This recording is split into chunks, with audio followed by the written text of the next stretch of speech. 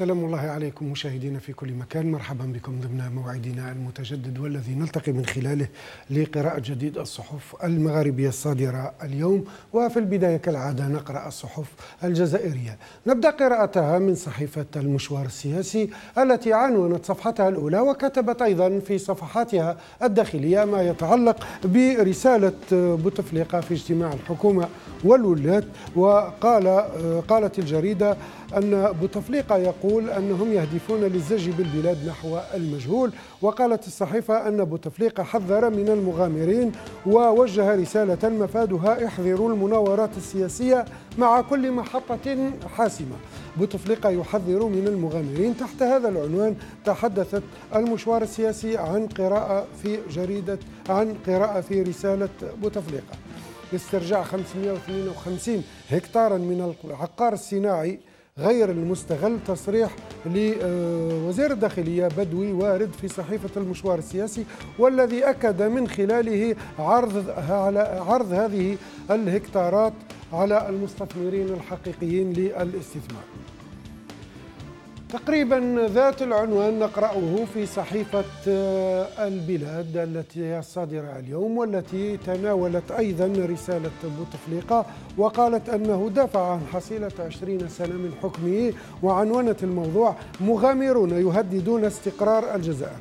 الرئيس تقول صحيفة البلاد يبعث برسائل سياسية مشفرة فيما لم تجب صحيفة البلاد في صفحتها.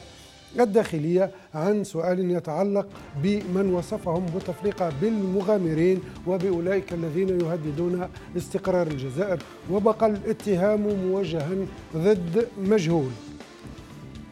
في صحيفة شروق نقرأ عنوان بارز يتعلق بمراجعة الأجور واستباق غليان الشارع مثل ما تقول الصحيفة وانهيار الدينار وقالت أن مراجعة الأجور تهدف لإطفاء نار الأسعار وانهيار الدينار. وأن وزارة التجارة تقول أن تحرير الاستيراد يتسبب في كسر الأسعار وأن جمعية التجار تقول بأن المنتجات الجزائرية تفرعنت نظرا لعدم وجود منافستها في السوق. عودة إلى رسالة بوتفليقة في صحيفة الخبر والعنوان الذي قالت من خلاله أنه هاجم بحدة من وصفهم بالمغامرين والكائدين. الخطاب الناري لبوتفليقة تحت هذا العنوان الكبير لم تجب الخبر على الأقل على سؤال من هم الذين وصفهم بوتفليقة بالمغامرين والكائدين وبقي الحديث ضد فعاليات قد تكون سياسية وقد تكون شخصيات وقد تكون آه، طبعا آه، معارضة ولكن لا شيء يشير بالتدقيق إلى هؤلاء المغامرين والكائدين مثل ما تقول الصحف. في الصحف الجزائرية الصادرة باللغة الفرنسية ذات العناوين تكررت ففي الأسوار دالجيري نقرأ من رسالة بوتفليقة الرهان ليس استخلاف المسؤولين ولا الأشخاص. بالنسبة لتصريح للويزا حنون بخصوص هذه الرسالة وكان على الصفحة الأولى لصحيفة السوارد الجيري وقالت أنه ليس هناك أدنى حظ من أن أو أدنى احتمال من أن بوتفليقة سيكون مترشحا لخلافة نفسه لعهدة رئاسية خامسة. ذات العنوان نقرأه في صحيفة ليبرتي الصادرة باللغة الفرنسية. وبخصوص ترشح بوتفليقة للعهدة الخامسة تقول لويزا حنون شكوك. تقول صحيفة الليبرتي عفوا شكوك لويزا حنون. الرسالة الغريبة لبوتفليقة هو العنوان أيضا الذي اختارته صحيفة ليبرتي للحديث عن آه، هذه الرسالة. هذه مشاهدينا في كل مكان أهم العناوين الواردة في الصحف الجزائرية ولعلكم قد تابعتم من خلال قراءتنا. هذه أن هذه الصحف ركزت على رسالة بوتفليقة في لقاء الحكومة والولاة الذي تغيب عنه الوزير الأول المعني به مباشرة. دون الحديث عن هذا السؤال نعود للصحف لمناقشة هذه المواضيع مع ضيفنا الصحفي الأخضر فرحات المعتمد لدى الاتحاد الأوروبي. نرحب بك الأخضر فرحات مرحبا بك شكرا على تلبية الدعوة. الرسالة الغريبة لبوتفليقة خطاب ناري لبوتفليقة آه، ليس رهان استخلاف المسؤولين ولا الأشخاص. المغامرون الكائدون المتربصون بالجزائر كل هذه الألفاظ نقرأها في الصحف الصادرة اليوم في قراءة لرسالة بوتفليقة كيف قرأت أنت الأخضر فرحات هذه الرسالة؟ اولا الرسالة أنا تذكرني شخصيا بالبيانات التي كانت تصدر في عهد ماضي على الأحزاب الشيوعية أو على المكتب السياسي للأحزاب الشيوعية التي تعتبر أن البلد في أيديها ولا أحد ولا أحد له الحق في أن ينتقد أو أن يتحدث أو أن يطمح في يوم من الأيام أن يكون رئيس. يعني الرسالة التي يعني أرسلت باسم بوتفليقة آه، واضحة. بوتفليقة يقول الجزائر أنا وأنا الجزائر وكل من هو آه، خارج عن عن نطاقه فليذهب إلى الجحيم. هذا هو آه، فحوى رسالة. وثانيا هناك شتم للمعارضة وشتم أيضا لأشخاص ولكن دون تحديد تحديد أسمائهم ومن هم وماذا قاموا حتى تصل الأمور إلى أن يرد عليه يرد عليهم الرئيس برساله أو رسالة منسوبة إليه. هذه يعني القراءة التي يعني بسرعة يمكن أن نكتشفها من رساله الرئيس. ومن الأحسن يعني بعد هذه الرسالة من الأحسن يعني تغيير الدستور وحذف كل كلمة ديمقراطية في الدستور وحذف كلمة الأحزاب السياسية وأن تكون عهدة يعني مدى مدى الحياة وتنتهي الأمور. يعني يعني تقترح تقترح إذا وصلنا إلى يعني الأخضر فرحات تقترح إدراج في الدستور وصف المعارضة وكل أنواع الوجهات النظر المختلفة. في السلطة تقترح وصفها رسميا في الدستور بالمغامرين بالكائدين بالمتربصين بالايادي الخارجية. فهنا يكون الدستور يعبر بحقيقة عن تصور السلطة للمعارضة. والله العظيم لو جد في بلد ديمقراطي هذه الرسالة يتم آه، يعني آه، آه، عرضها على هيئة عليا ويتم الطلب إزاحة الرئيس في 24 ساعة لأن كلها معادية للدستور الموجود حاليا ومناقضه ومناقضة له ولا يعني تعترف حتى بأدنى آه، يعني شيء من النشاط الديمقراطي آه، الموجود حاليا في الدستور. ومن الأحسن يعني ما دام رسائل مثل هذه تخرج عن رئيس الجمهورية أن يتم تغيير الدستور وننتهي يعني يتهنى الفرطاس من حك الرأس. يعني نعرف بأن البلد ديكتاتوري وليس آه، وليس يعني ديمقراطي. ونعرف أن بوتفليقه هو الذي أسس الجزائر رغم أن هناك خمس رؤساء أو ست رؤساء سبقوه على قيادة البلد. ولا يمكن يعني أن نقول بأنهم فعلوا ما فعله بوتفليقه بالجزائر. يعني آه، صراحة لم يفعل لا الشاذلي بالجديد ولا زروال ولا ولم يوصلوا الجزائر إلى الحضيض مثل ما هي طيب. الأخضر فرحات في هذه الرسالة التي ذكرت بإنجازات الرئيس على مدى عشرين عام.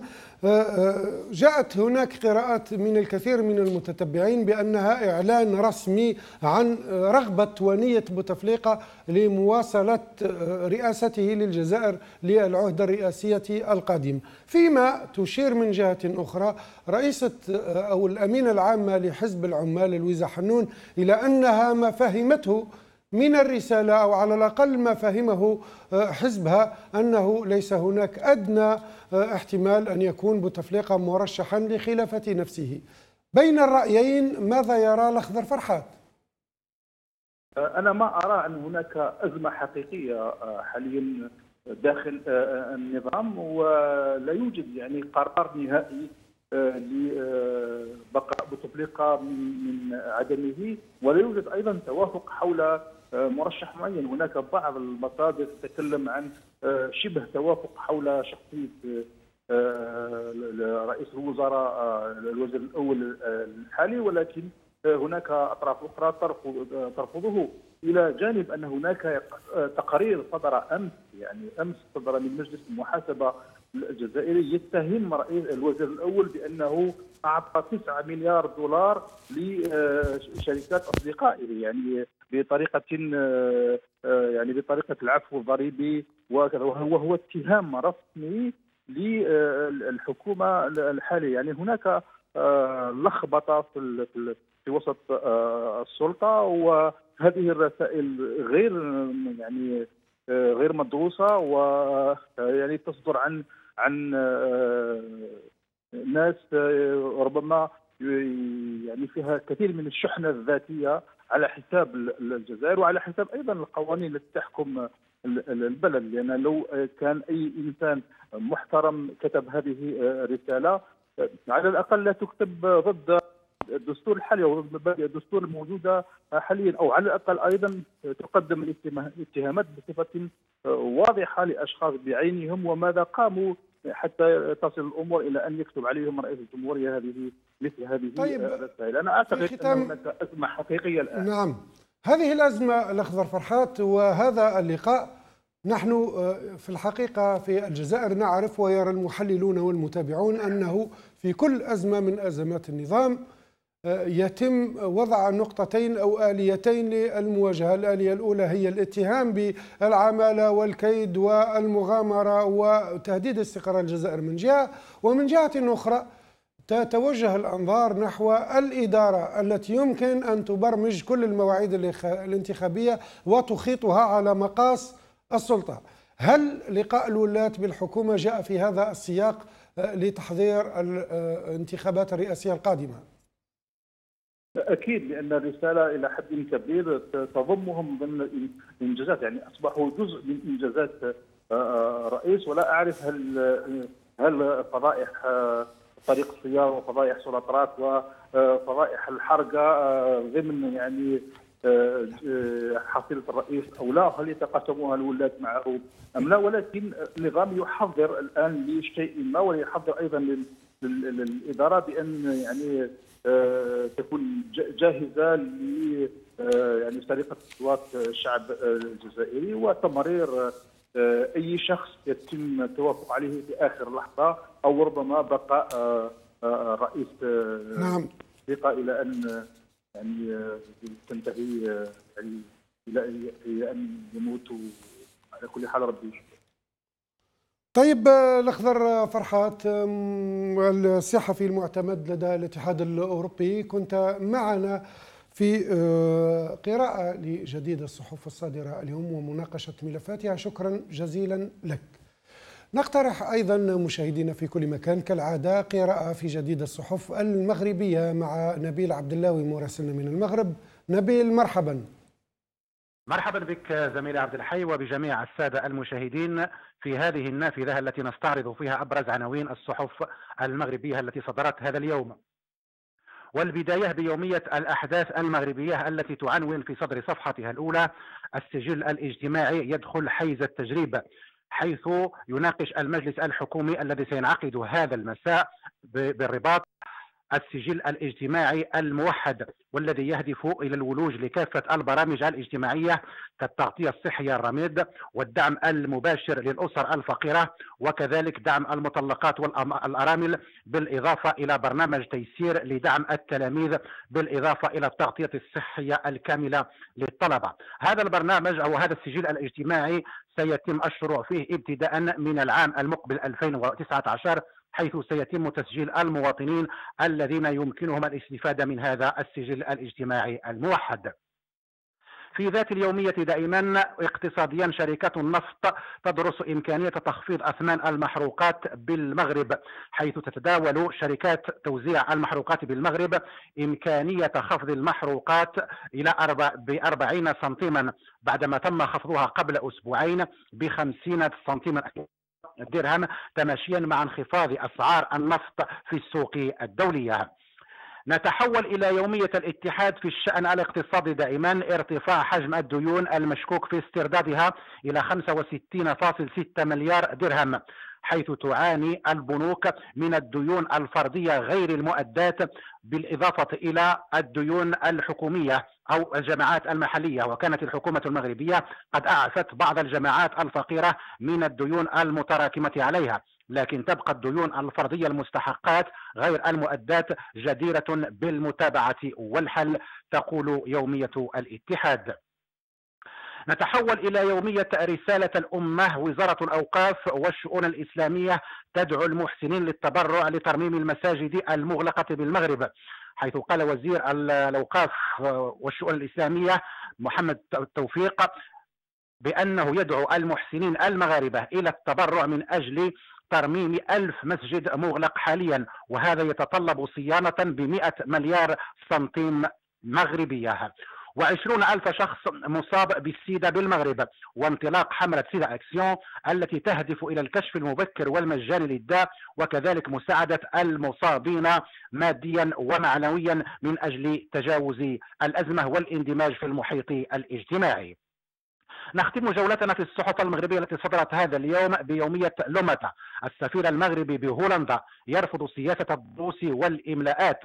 فبعد الأجواء المتوترة بين المغرب وهولندا بسبب ملف الريف حيث أقدم وزير الخارجية الفرنسي على تقديم ملف إلى البرلمان الأوروبي بخصوص هذه الأحداث والتي اعتبرها المغرب بأنه تدخل سافر في الشؤون الداخلية للمغرب. وبهذا تقدم السفارة المغربة في هولندا على تحسين وتلميع صورة المغرب بالمملكة الهولندية. وعنوان أخير أكبر شركة سويدية للمحروقات تطيح بالمالك السابق لمصفاة لاسامير العامودي مصفاة لاسامير الإشارة فهي مصفاة تقرير البترول الوحيدة بالمغرب والتي توقفت عن العمل منذ ما يربو من سنتين. والعامودي الملياردير الملياردير السعودي كان يدير أكبر شركة سويدية للمحروقات لكنه تم إعفاؤه قبل يومين كان هذا إجمالا زميل عبد الحي أبرز وأهم عناوين الصحف المغربية التي صدرت هذا اليوم. شكرا نبيل عبد اللهوي قراءة أيضا في جديد الصحف الفرنسية وفي صحيفة لوموند التي اخترناها اليوم والتي خصصت صفحتها الأولى لأصحاب السترات الصفراء وما يثيرونه من قلق للجهاز التنفيذي في فرنسا. تقول صحيفة لوموند في عنوان بارز ماكرون يجد صعوبة في إقناع أصحاب السترات الصفراء. في خطاب مطول تقول الصحيفة حاول الرئيس ماكرون أن يتجاوز صعوبة إيجاد أجوبة آه، تطفئ غضب أو الغضب المعبر عنه من قبل أصحاب السترات الصفراء. قال آه، لقد فهمتكم. عبارة كررها إيمانويل ماكرون تقول الصحيفة معلنا إجراءات لا مركزية تستمر على مدى ثلاثة أشهر لمحاولة إرضاء هذه المطالب وأصحابها. ولم يقنع هذا التغير في الطريقة ولا في الخطاب المتظاهرين كما تقول الصحيفة الذين طالبوا بتنظيم يوم احتجاج السبت القادم الفاتح من ديسمبر في باريس وأظهرت هذه الأزمة شرخا كبيرا بين مختلف المناطق في فرنسا ما يوحي بأن هناك يعني مركزية كبيرة مثل ما تقول الصحافة الصحيفة في معالجة احتياجات ومطالب هؤلاء الذين لجأوا إلى طريقة للتعبير بارتداء السفرات أو السترات الصفراء. هذا هو الموضوع الذي تطرقت إليه جديد الصحف الفرنسية الصادرة اليوم. وفي الختام ونعتذر عن عدم تمكننا من قراءة الصحف التونسية فنختم بصحيفة بصفحة الكاريكاتير.